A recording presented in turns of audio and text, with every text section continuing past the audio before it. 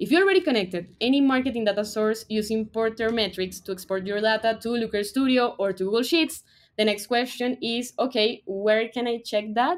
And if I want to add a teammate to my account, where do I do that?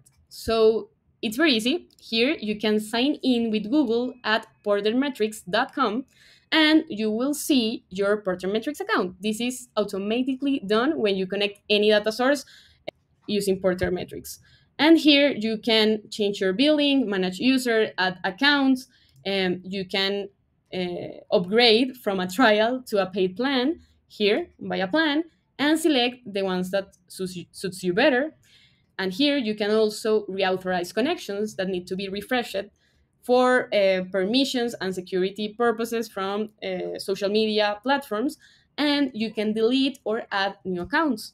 So if you want to change anything regarding your Porter Metrics account, it's here on the platform of Porter Metrics. So if you have any questions, please write us on our web chat and we will help you ASAP. So I hope this helps. Bye bye.